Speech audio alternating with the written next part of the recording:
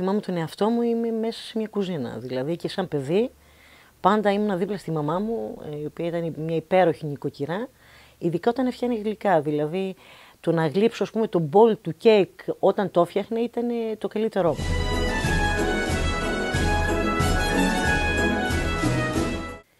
Ε, εξαρτάται πώς θα το χρησιμοποιήσεις. Δηλαδή, εμένα το προφίλ μου στο facebook και η σελίδα του Κουκουκ στο facebook λειτουργεί, ε, δίνει τη δουλειά μου. Ε, με, με έμαθε ο κόσμος, με έμαθε σχεδόν όλη η Ελλάδα.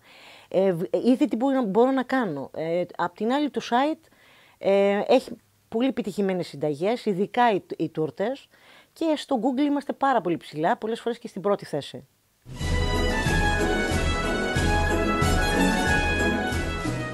Η ζαχαροπλαστική θέλει ακρίβεια, θέλει μέτρημα, θέλει υπομονή, θέλει σημασία στη λεπτομέρεια. Ε, γιατί στη ζαχαροπλαστική δεν είναι μόνο η γεύση, αλλά είναι και το μάτι. Το μάτι πρέπει να χορτάσει πρώτος ένα γλυκό και μετά να έρθει η γεύση. Και μετά ο άλλος να είναι ευτυχισμένος, γιατί εμείς οι ζαχαροπλάστες με τα γλυκά μας δίνουμε χαρά στον κόσμο.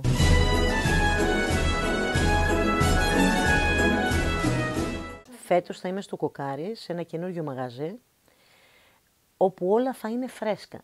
Και τα γλυκά και τα λιμυρά και το ψωμί ε, και ελπίζουμε να μας υποστηρίξει ο κόσμος.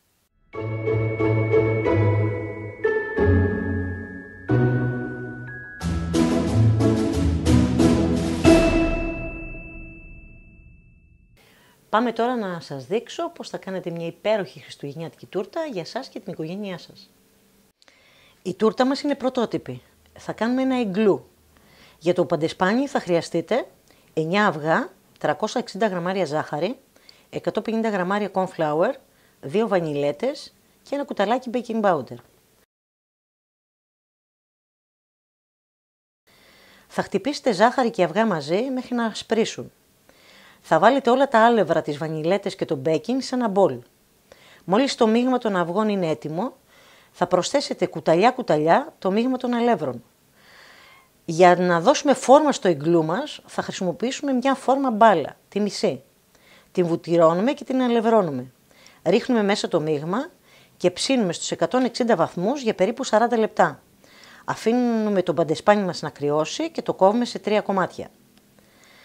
Για την κρέμα, σοκολάτα βέβαια, θα χρειαστούμε 1500 γραμμάρια κρέμα γάλακτος, 4 κουταλιές της σούπας ζάχαρη άχνη, 2 κουταλιές της σούπας κακάο κουστινισμένο και αρχίζουμε. Χτυπάμε την κρέμα γάλακτος με την άχνη. Μόλις αρχίζει να πίζει, προσθέτουμε το κακάο, πάντα κοσκινισμένο και αφού τελειώσει και είναι, ε, η σύστασή της είναι μια χαρά, τη βάζουμε στο ψυγείο να σφίξει. Για το πότισμα τώρα, γιατί το παντεσπάνι πρέπει να το σιροπιάσουμε με ένα ελαφρύ σιρόπι. Θα χρειαστούμε ένα φλιτζάνι νερό, ένα φλιτζάνι ζάχαρη, ένα ολόκληρο λεμόνι και ένα σφινάκι κονιάκ. Θα βράσουμε τη ζάχαρη και το νερό για 10 λεπτά μαζί με το λεμόνι, ολόκληρο, και ρίχνουμε στο τέλος το κονιάκ. Αφήνουμε και αυτό να κρυώσει. Πάμε τώρα να στήσουμε. Ποτίζουμε το πρώτο παντεσπάνι και στρώνουμε την κρέμα σοκολάτα. Κάνουμε το ίδιο με όλα μας τα παντεσπάνια. Καλύπτουμε όλη την τούρτα απ' έξω με κρέμα. Την βάζουμε στο ψυγείο να σφίξει. Όσο η τούρτα μας ε, σφίγγει, εμείς θα ανοίξουμε τη ζαχαρόπαστά μας, πάνω σε πάγκο πάντα ε, πασπαλισμένο με ζάχαρη άχνη και την ε, επικαλύπτουμε την τούρτα μας προσεκτικά. Κάνουμε το σχεδιάκι του ιγκλού και αρχίζουμε και φτιάχνουμε τις φιγούρες. Εγώ ε, για διακοσμητικό έφτιαξα μία φώκια, ένα δεντράκι χριστουγεννιάτικο και πιγκουινάκια. Τώρα θα σας δείξω πώς κάνουμε ένα πολύ απλό χριστουγεννιάτικο στολίδι για τις τούρτες μας. Φτιάξουμε ένα έλατο, ένα μικρό δεντράκι από ζαχαρόπαστα. Είναι πολύ απλό, το μόνο που χρειάζεται είναι λίγη πράσινη ζαχαρόπαστα, ένα σουβλάκι και ένα μικρό ψαλίδι. Ε, και ένα μαχαίρι για να κόψουμε κάποια πράγματα. Έχουμε φτιάξει το δεντράκι μας, στο ύψος που το θέλουμε και έχουμε περάσει το σουβλάκι από κάτω και το κρατάμε με το χέρι.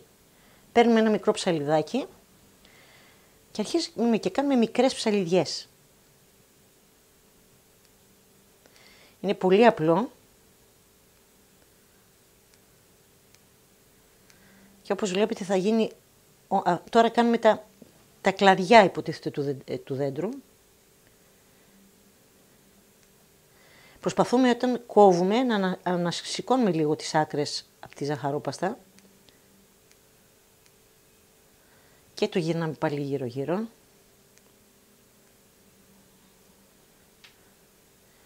Και έτσι θα συνεχίσουμε να κάνουμε όλο μας το δεντράκι. Μπορείτε να κάνετε μικρά έλατα, πιο μεγάλα έλατα. Βέβαια, προτού τα βάλετε πάνω στο γλυκό σας, στην τούρτα σας, θα πρέπει να τα αφήσετε ξεχωριστά κάπου, να σφίξει η ζαχαρόπαστα, γιατί τώρα είναι πολύ μαλακιά, γιατί η ζαχαρόπαστα παίρνει θερμότητα από τα χέρια σας, οπότε γίνεται μαλακή σαν πλαστελίνη. Οπότε τα αφήνετε λίγο να σφίξει και μετά μπορείτε να το βάλετε με λίγο νεράκι, με λίγο βρόσιμη κόλλα, να το κολλήσετε πάνω στην τούρτα σας ή και στη βασιλόπιτά σας αν θέλετε. Τελειώσαμε. Το βγάζουμε το σουβλάκι. Έτοιμο.